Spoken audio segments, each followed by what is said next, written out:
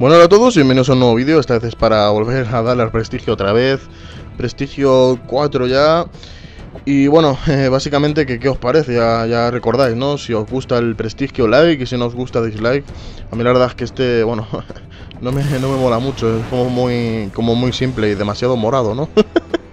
no me gusta mucho el color, el color morado, y bueno, eh la posición del mundo es la 334 por el sencillo motivo de, que básicamente vuelven a quitar los puntos. Eh, ya, ya recordáis el problema que tenía de que me quitaban los puntos y tal y cual. Dije una solución, pues bueno, esa solución ya no funciona. O sea, ni lo hagáis porque es que ya no funciona.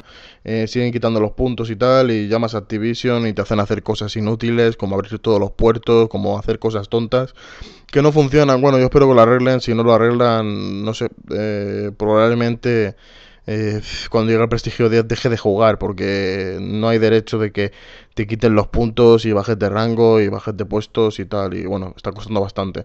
Eh, si a cada partida te lo quitan pues amarga. Y bueno eh, me despido. Esto ha sido todo chavales y hasta la próxima